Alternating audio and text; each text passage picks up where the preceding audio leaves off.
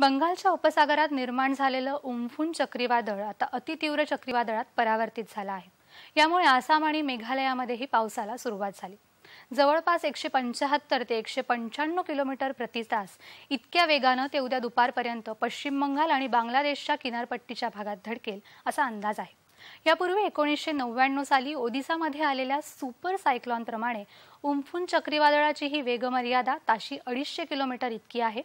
ईशान्य ओदिसाच्या किनारी याचा फटका बसणार आहे.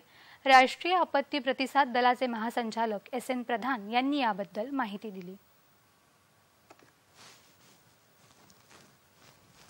यह एक सुपर साइक्लोन में कन्वर्ट हो चुका है, परिणत हो चुका है. ये बहुत ही सिग्निफिकेंट डेवलपमेंट है. ये सिग्निफिकेंट इसलिए है क्योंकि 1999 अक्टूबर उड़ीसा में सुपर साइक्लोन आया था।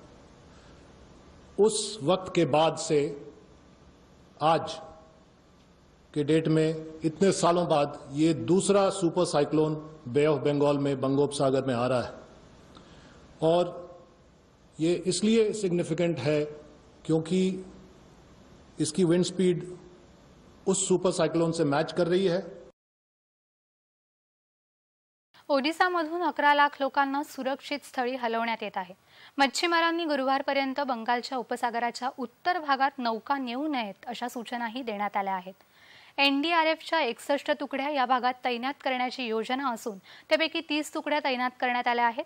एका तुकडीत पंचेचाळीस जवानांचा समावेश आहे. उम्फून चक्रीवादळाचा सामना करण्यासाठी करण्याच्या तातडीच्या उपाययोजनांवर चर्चा करण्यासाठी पंतप्रधान नरेंद्र मोदी यांनी काल एक उच्चस्तरीय बैठक घेतली.